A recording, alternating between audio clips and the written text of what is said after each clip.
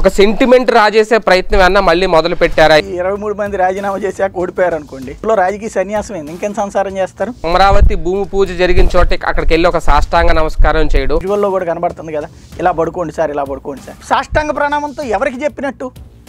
నాకు భూమి ఇచ్చి మీ నోటి దగ్గర ముద్ద తీసేసానని చెప్పి ఆ రైతుకి దండం పెట్టినట్ట?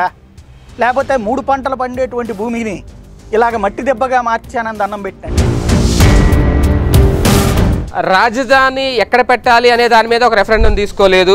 అవినీతి ఏమో జరిగిపోయిందని ఒప్పుకుంటున్నారు ఇక్కడ. బహిరంగ అవినీతి కదా అది. రాష్ట్రమంతా ప్రజలు ఏకైక రాజధాని కోరుకుంటున్నారు. తిరుపతి ఎన్నిక అమరావతే కావాలన్న పాయింట్కి రెఫరెండం అని ఎన్నికలకి వెళ్ళమనండి. అమరావతిలో ఆ శిబిరాలు ఆ టెంట్లో దీక్షలు ఇంకా అలా కంటిన్యూ చంద్రబాబు కానీ రైతులు కానీ చెప్పింది ఏంటి జగన్ అనే ఆయన ఒక దుర్మార్గుడు.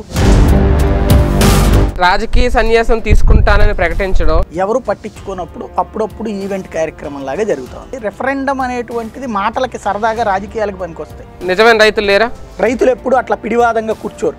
రాజధాని ఎక్కడంటే ఇంకా క్వశ్చన్ మార్క్ ఫేస్ పెట్టాల్సిన పరిస్థితి ఇక్కడ జగన్ ఒక్కడు ఆ విషయంలో మాత్రం మొండిగా ఉంటున్నాడు. ఇరవై తొమ్మిది గ్రామాలే రాజధాని అయితే ఇంకా మిగతా వాళ్ళకి ఏం సంబంధం? రాష్ట్రం మొత్తం సొమ్ము తీసుకొచ్చి అక్కడే పోయా ఏకపక్షంగానే రాజధాని ఏర్పాటు నిర్ణయం తీసేసుకున్నప్పుడు రెఫరెండం పెట్టలేదు. ఎలా ఇచ్చాడు ఈయన లెటరు? అప్పుడు రెఫరెండం చేశారా? ఇప్పుడు అసలు ఎవరైనా వస్తున్నారా రాజధాని చూడడానికి? చర్చలకు మేము సిద్ధంగా ఉన్నాం చర్చలకు రండి. ముందు మూడు రాజధానులు ఆపేయండి అమరావతి కావాలి. ప్రభుత్వం కూడా ఏమంటే మేము రెండు అనుకున్నాం రెండు కాదు నాలుగు పెడతాం. రాజకీయ సన్యాసం పుచ్చుకోవడానికి రెడీ అయిపోతున్నారు. జగన్ వైఖరిలో మార్పు రాల? వీళ్ళ ప్రెషర్తోనూ బినామీలను కాపాడుకునే ప్రయత్నంలో భాగంగా అక్కడ ఆందోళన చేస్తున్నారు. దాన్ని కవర్ చేయడానికి ఈ పాపం అంతా జగన్మోహన్ రెడ్డి.